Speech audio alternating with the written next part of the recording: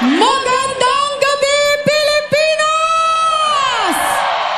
Maligayang pagdiriwang ng ating huling meeting de avance! Ngayong gabi, titigan niyo pong mabuti si BBM and Sara Duterte. Dahil sa susunod na linggo,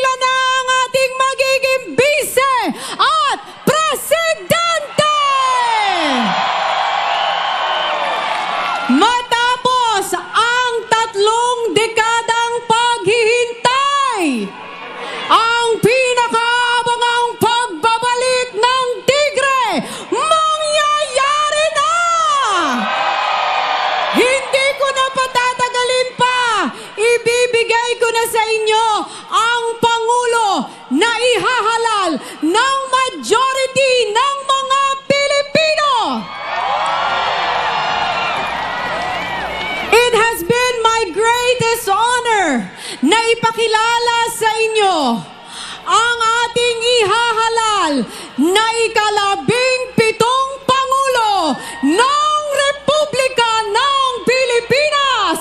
Sabay-sabay nating salubungin ang